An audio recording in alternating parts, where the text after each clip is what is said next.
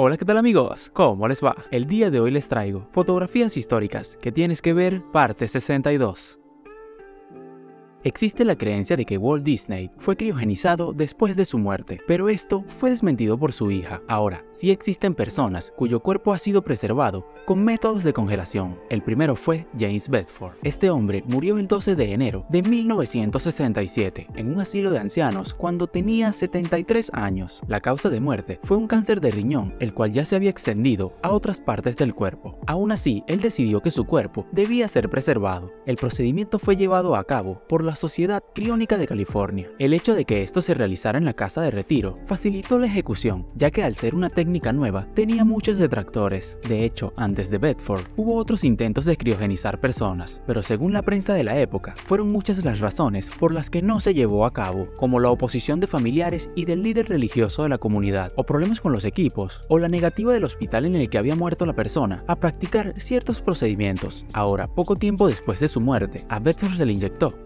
sulfóxido, un líquido incoloro, el cual fue usado durante años como disolvente, pero a principios de la década de los 60 empezó a usarse como crioconservante. Luego de esto, fue conservado en un tanque con nitrógeno líquido. La técnica de criogenización ha avanzado con el tiempo y hoy se estima que el compuesto químico que se le suministró a este hombre puede haber causado graves daños en su cerebro. Aún así, el cuerpo de James Bedford sigue esperando el momento en que la ciencia avance con respecto a su enfermedad y él pueda ser reanimado. Hoy en día se encuentra en las instalaciones de la Fundación Alcor en Arizona, siendo esta una compañía sin fines de lucro dedicada a la criogenización, donde junto a Bedford se encuentran otras 200 personas suspendidas criogénicamente.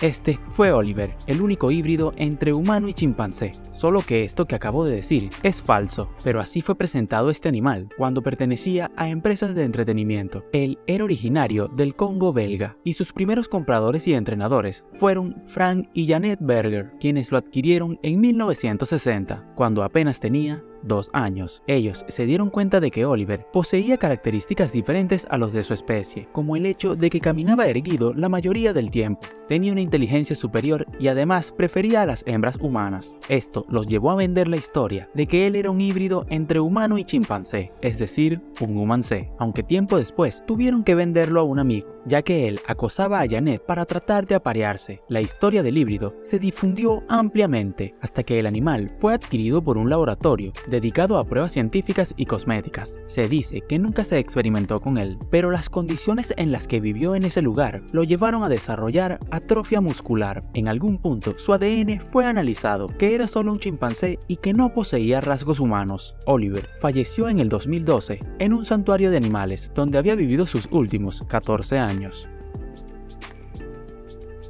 Por mucho tiempo se ha difundido que esta es la primera fotografía de la historia. Es denominada como vista desde la ventana en Legras y fue tomada por el francés Joseph Nietzsche. Para conseguir la imagen, se colocó una placa de peltre recubierta con betún de Judea durante 8 horas de exposición. Todo eso en 1826, pero resulta que en 1822 ya había tomado esta otra imagen conocida como la mesa puesta. ¿Por qué hoy se sabe que esta es la primera fotografía? Pues el mismo autor la guardó con un pie de foto que dice primera fotografía.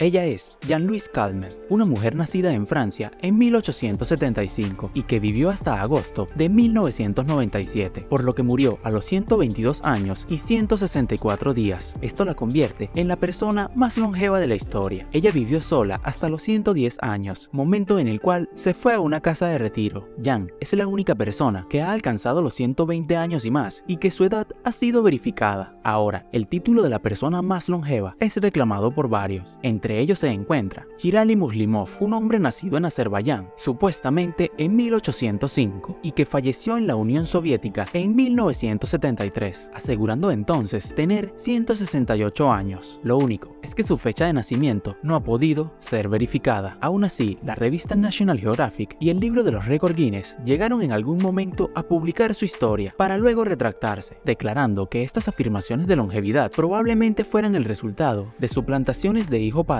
e incluso de hijo abuelo, para así evitar el reclutamiento zarista.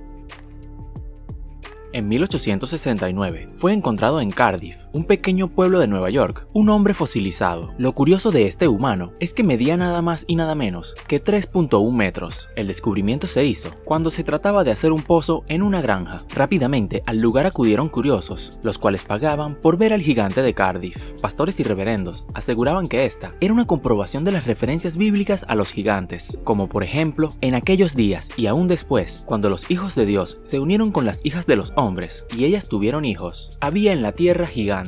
Estos fueron los hombres famosos de la antigüedad. Claro está que también llegaron varios investigadores para constatar que el descubrimiento fuera real, y la mayoría de ellos declaró que era un fraude, que simplemente era una escultura reciente. Aún así, algunos afirmaban que era real, pero se debatían entre si era un ser humano fosilizado o una escultura, hasta que George Hall, primo y socio del dueño de la granja, confesó que ellos habían planeado todo. Habían comprado un bloque de yeso, lo habían mandado a tallar y luego lo habían enterrado, con el fin de que al mandar a hacer el pozo fuera encontrado. A Hall se le había ocurrido la idea, después de conversar con un predicador, el cual creía en las referencias bíblicas a los gigantes, y entonces decidió crear uno como burla a los religiosos.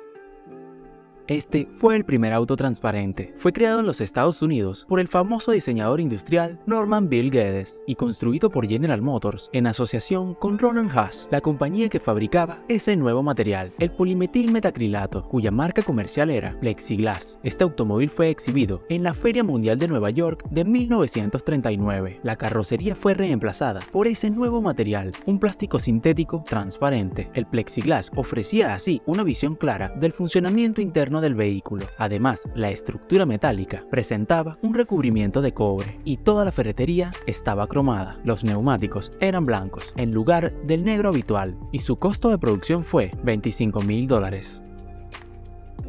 Esta fotografía fue tomada en 1980 y la chica que aparece en el centro es Jan Hillier. Lo sorprendente es que al momento de tomar la imagen, ella acababa de despertar después de estar varias horas congelada, siendo este el único caso registrado hasta ahora donde una persona vuelve a la vida después de estar en ese estado. Era de noche y ella se dirigía a su casa cuando el auto se le accidentó. Entonces recordó que cerca de donde se había accidentado vivía un amigo y decidió ir hasta allá. Caminó unos 3 kilómetros a través de una colina, pero a metros de la puerta de la casa de su amigo, cayó inconsciente. Era invierno y ella había caminado a temperaturas de menos 30 grados Celsius. A la mañana siguiente, el hombre la encontró completamente congelada y con los ojos abiertos, pero notó que habían unas burbujas saliendo de su nariz y la llevó al hospital. Los médicos comenzaron a calentar el cuerpo con almohadillas térmicas. Su cuerpo estaba tan rígido que no pudieron inyectarle ningún medicamento, pero para asombro de todos, horas más tarde, sus tejidos comenzaron a reactivarse y ella despertó. Hoy en día sigue siendo un misterio el cómo ella pudo sobrevivir. Esto ocurrió en una pequeña ciudad de Minnesota.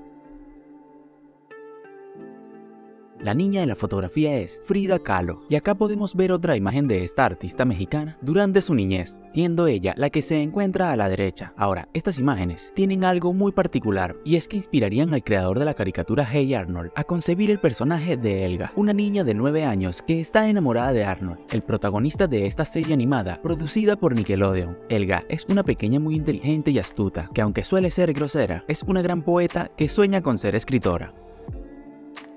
Este fue Charles Rigolot, un levantador de pesas que fue campeón de los Juegos Olímpicos en 1924. Él llegó a romper varios récords mundiales, lo que lo llevó a ganarse el título de el hombre más fuerte del mundo. Él también trabajó en espectáculos de circo mostrando sus habilidades. Ahora, una historia muy curiosa de este personaje dice que él se unió a la resistencia francesa durante la Segunda Guerra Mundial y que fue encarcelado por golpear a un nazi, solo que no duró mucho tiempo como prisionero, ya que con su increíble fuerza logró doblar los barrotes de su celda y así escapar, e incluso ayudó a otros prisioneros a que escaparan con él. Claro está que no existe un registro puntual de este hecho, pero la historia ha perdurado por años.